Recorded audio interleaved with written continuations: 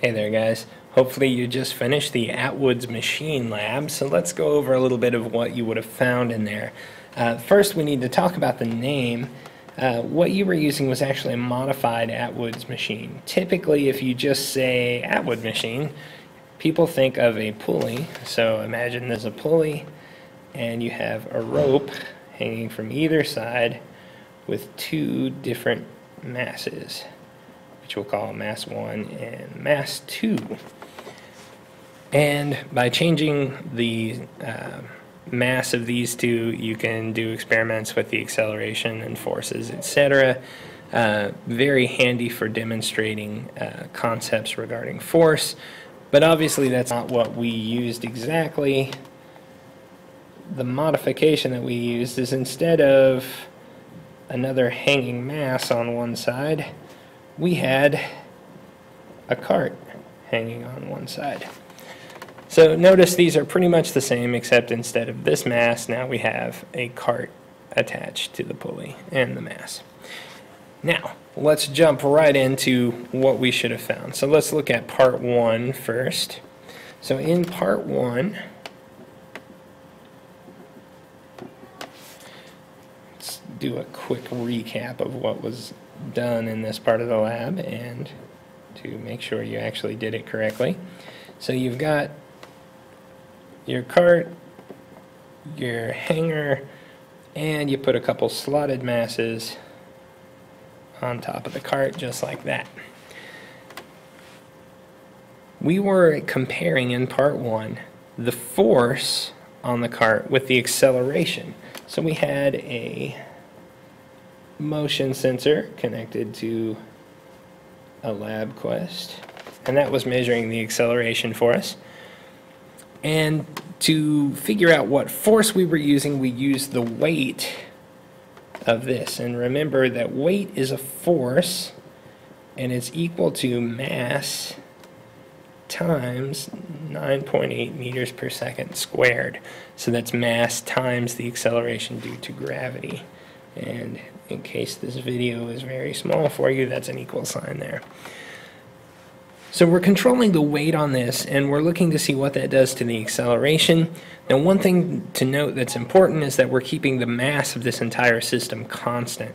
We are never going to remove any of these slotted masses. We will move them from the cart to the weight hanger, but we will never just take one off completely. And what we should have found as we increase the force, that is, we increase the amount of mass on this hanger and thus the weight, as the weight increased, the acceleration of the cart increased as well. And we made a graph of this.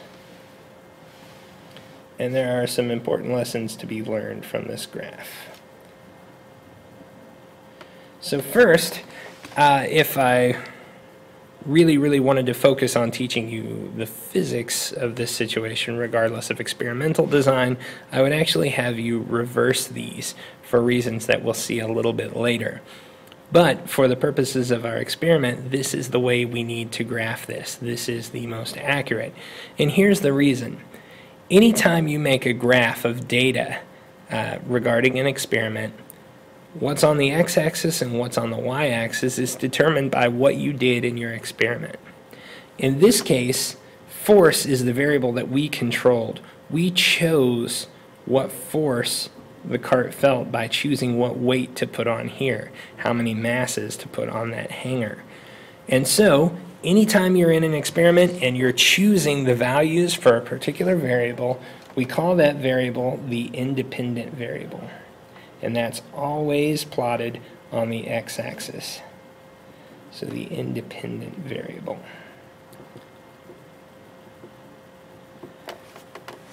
All right, we controlled the force. We had no control over the acceleration directly. We were just going to see what the acceleration was. We didn't know. It could have been anything. For that reason, acceleration is called our dependent variable. It depends on what we do. Wow, my spelling inabilities just kicked in there. The dependent variable. So whatever we do to the independent variable will change the dependent variable somehow, and we're trying to figure out how that is. That's the whole purpose of the experiment. So in this case, we found that the relationship looked kind of like that. That as we increase the force, the acceleration increased as well in a linear fashion. And I don't know if you would have noticed this right offhand, but there is a very, very interesting feature of the slope in that the slope of this line is 1 over the mass of the system. And you can test this out for yourself with your own data. If you take the mass of that hanger plus the mass of the slotted masses, plus the mass of the cart. And if you really wanted to get super technical about it, the mass of the string, but the fishing line that we used uh, can be ignored against the masses of all the rest of this. But if you add up all those masses and take 1 divided by that value, that should give you the slope of that line, which is a very, very fascinating result. And we'll see what this means a little bit later. Um, and in fact, we can get, well, let's just go ahead and dive right into it. If we were to write an equation for this line, we would say that the acceleration is equal to the slope, so that's 1 over the mass times the force. And so if we were to put that together, we would get acceleration equals force divided by mass. And if we rearrange this, we would find that mass times acceleration is equal to force. This being Newton's second law of motion. Very, very fascinating result. All right, now let's look at part two. Equally good stuff there. So in part two, now we're going to be looking at acceleration and mass as our two variables. So we have a very similar setup. You guys are welcome for the display of artistic prowess you're getting right here. So we've got our setup and we have a cart again with masses on it. And now this time we're going to set up a certain amount of force from the slotted mass. So we still have our weight from this providing the force, and we're measuring the acceleration of the cart. But in this case, instead of moving the mass over here and increasing the force, we're going to be looking at just simply removing one of these slotted masses so that we reduce the mass of the entire system.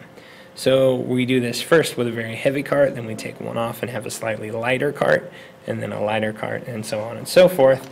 And when we graph, and now again, notice that mass was the variable we controlled, so it's the independent variable, and must go on the x-axis, and acceleration.